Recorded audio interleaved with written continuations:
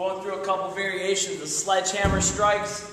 We've got uh, your basic split apart strike where you're just going to be coming here, get it up and slam down, using your abs to pull down, get it up high, stretch your abs out, high, slam. Nothing crazy. You'll come same thing with the other way, coming up, down.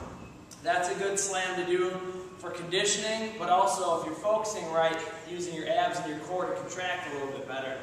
I feel like these are a little bit better core moves than the old-fashioned grab a band and twist or grab the weights and twist. It's not going to do anything. This is real world. So take another one, grab it right in the middle of the hammer, put it right in the middle of your lower back here, and again, a great way to use your abs to contract down, pulling from up here, snatch, pull it back, snatch, pull it back. Notice while I'm doing it, when I get down, I'm using my legs to crunch down so I can get power, power it down on it. Great ways to use the sledgehammer. Another way for you guys would be to pull back into a, a batting position here and put it right on your shoulder and use the momentum of your shoulder to turn in and hit. So just here, boom, boom.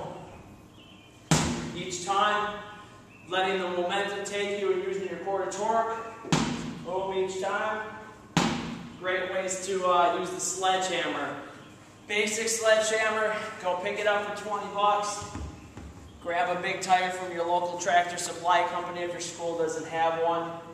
There'll be big tools to, you for, to use for the season.